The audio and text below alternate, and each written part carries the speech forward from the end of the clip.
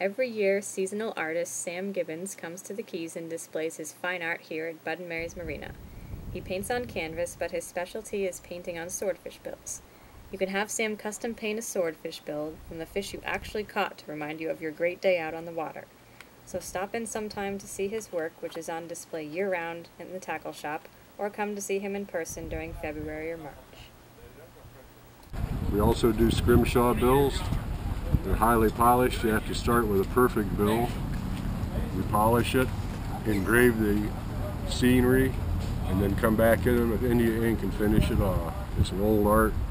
The old whalers out of New Bedford and Nantucket started doing this on their long two-year voyages